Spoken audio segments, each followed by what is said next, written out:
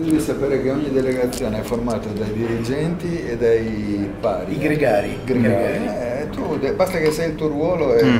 Beh, qui abbiamo l'editore e the journalist. Senti un po'. Signori. Che dici?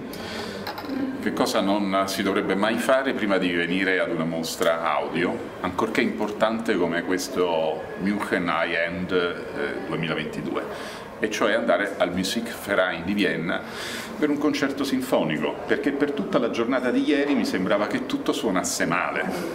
Ovviamente non era così, ovviamente ci sono delle sale che suonano molto bene, ma quando tu vai al Musikverein nel posto 1 barra 1, quello especially reserved, quando tu sei seduto qui, poi fai così e metti il piede sul piattaforma degli orchestrali, poi così stai da te e leggi la partitura della violinista dell'Est Europa a un metro da te e senti quel suono. Un piccolo esempio, il colpo di piatti, che noi pensiamo sia un no, è un clang metallico intensissimo che ti fa sobbalzare sulla sedia e poi le armoniche superiori che si liberano nell'aria.